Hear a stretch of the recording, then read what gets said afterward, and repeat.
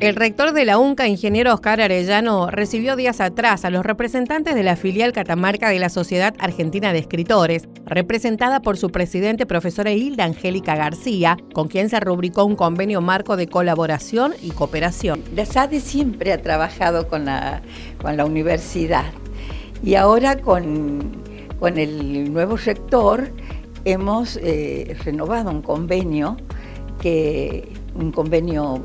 marco donde la SADE, eh, se compromete no solo a trabajar, eh, sino también a, apoyar, digamos, en la medida que fuere posible,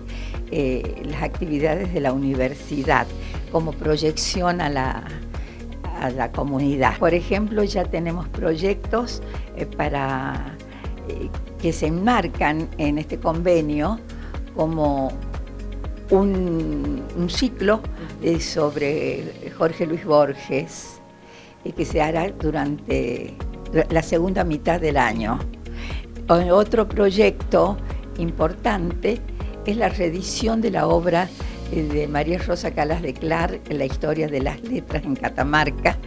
eh, que, que mm, contiene a todos los más importantes escritores de Catamarca en las diferentes etapas históricas. Eh, no solo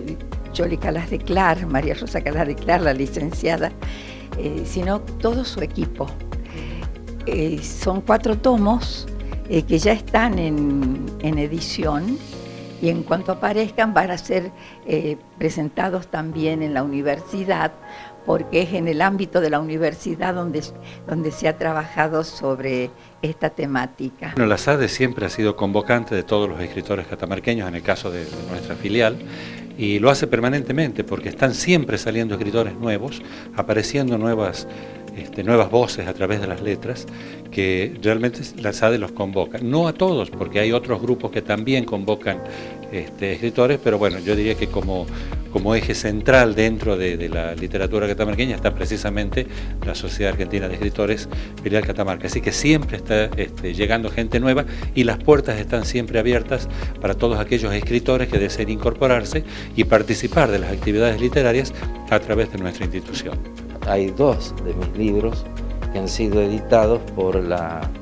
este, editorial científica universitaria. La universidad ha colaborado bastante en el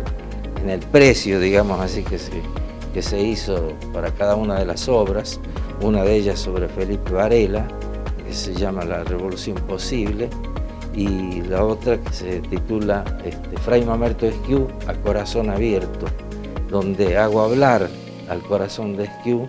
y nos dice muchas cosas interesantes sobre el presente y sobre el tiempo en el cual le tocó actuar.